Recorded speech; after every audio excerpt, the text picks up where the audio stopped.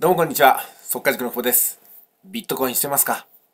?1 月1日、2日、3日と FX の市場はおおむねお休みだったんですけども、そんな時でも動いてるのが暗号通貨市場なんですよね。で、1月1日、2日、3日とビットコインで稼ぐための一つのポイントをね、お話してきました。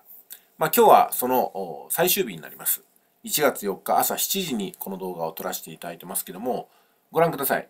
今日は昨日と打って変わってですね、650万円のビットコインが613万円にプライスダウンしてます。あの、ビットコインをはじめとする、その仮想通貨のですね、ETF 承認が見送られるんじゃないかなっていうふうなレポートが上がってきて、それが反響を呼んで、全面的に価格が落ちてるんじゃないかなっていうふうな観測があるわけですけども、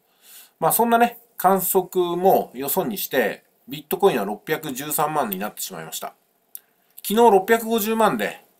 高値掴みをした人ってのもいると思いますけども、これがだから握手なんですよ。初日に申し上げましたけども、600万円を割っている時に買う、600万円を超えた時には売る、これしかないわけですよ。ですんで、今日613万になりましたけども、600万円以下で買った人は、それでもこの3日間の含み益が十数万ってことになるでしょ。だからこれがだから、この一つのね、レジサプラインの考え方なんですよ。で、最初に申し上げたのは、あ私はね、この600万をボーダーにしますよっていうふうなフェーズだということでした。えっと、以前なんですけども、一番最初に私がビットコインをね、え知ったとき、これがね、2014年ぐらいだったと思いますけども、えこれがね、3万円前後の価格だったんですよ。で、将来ビットコインは10万円を超えるだろうっていうふうに力説された方がいて、で、半数以上の方は、そんな未来が来るのはいつになるだろうねっていうふうに思われていたんですけども、あっという間に10万を超えて、で、10万を超えると、すぐに30万円きました。30万円の価格をつけてる頃には、将来的にビットコインって100万円いくかもしれないよねっていうふうに言ってましたけども、やっぱりね、多くの方はどうだったのかなっていうふうに信じることができませんでした。ですので、そこでも仕込んでない方が大半です。で、結局価格は100万を超えて、300万を超えて、そして700万をつけたこともありましたよね。まあ、そうなってくると、今度は1000万いくんじゃないのっていう人が出てきましたし、最近では1億いくんじゃない人って出てきました。まあ、人は期待で買って、現実で失望して売るみたいなことを繰り返すわけですけども、この暗号通貨についても同じようなことが言えるのかなと思います。で、前回お話したのが、500万円台、つまり600万円を割ったところで買っておけば、600万円以上での利ざやを得ることができそうだよってことでした。あ結果的にこの3日間、その通りになったわけですけども、今日の時点でも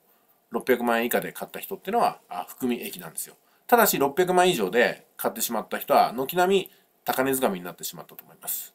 まあ奇跡的にね、610万とかで購入した方が、えーこれ1月2日にいたと思いますけども、1月3日の時点で650万になりましたんで、その時に決済してれば、あ後追いですけども、なんとか価値を収めたことになるんじゃないかなと思いますけども、なかなかそういうタイミングはうまくいかないですよね。ですんでやっぱり今のフェーズでは600万っていうのをね心理的なボーダーとして考えていくのがよろしいんじゃないかなといったことでございましたじゃあちょっとね下の方に行ってみましょうか。ビットコインが610万ですけども下の方行くとガクンと650万円ぐらいから落ちてますよね。でそうすると今度の価格帯っていうのはこの600万円を割ったところがね一瞬だったんですけども、まあ、600万円は割らないまでも630万とかなかなかいかないんじゃないかなっていう考えることができます。ただこう考えてもね特にその根拠めいたものはないわけなんですよ。ですんでやっぱり600万円を一つのボーダーとして考えるのが今の時点では得策かなと思います。ですんでしばらく仕込み時は来ないと思いますけども今後も同じですよ。600万円をもし割ることがあればそこで、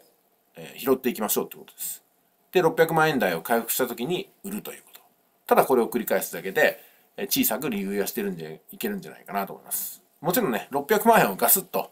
あの1ビットで買えない方っていうのも0.1ビットで購入するとか0.01ビットで購入するみたいな形あると思いますけどもまあ0.1ならまだしも0.01とかになってくると利益を取れても利ざやがちっちゃいですからねそうなってくると私はどちらかというとねあの草コインとかアルトコインで伸びそうなやつに同じ金額投入した方がまだいけるんじゃないかなと思いますそういう意味でビットコインを0.01とかで買うんだったら芝コインを100万枚持ってた方がいいですよ